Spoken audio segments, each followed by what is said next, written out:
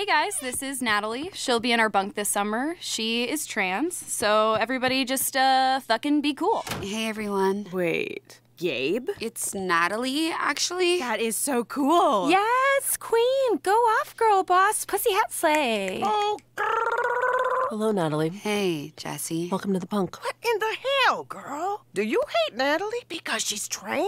No, of course not. I hate Natalie because last summer she called me firecrotch and the whole camp made fun of my burning bush. Well, to me, Connie, that sounds like a compliment. She saw God in your pussy. This bunk is already way better. The boys were such scroats. Gross? Ew. What is that? What are you saying? Don't talk like Oh, that. sorry. I apologize. Now that sounds like a girl. So tell me, what kind of girl is this Natalie? Uh, Shh, don't answer. I see. Hari Nef, Fashion Week, Gucci. I see snakes everywhere. oh shit, do I get to keep this? Ooh, I like that coat. I Get my eyes moved, and she gets a $5,000 coat? No, snakes are phallic and that's offensive. We need something inclusive. Think Karlie Kloss. Ooh, with dreadlocks, full geisha, in a wheelchair. Now this feels offensive. What if we just went classic? Yes, thank you. Caitlyn Jenner, silk bustier, mega hat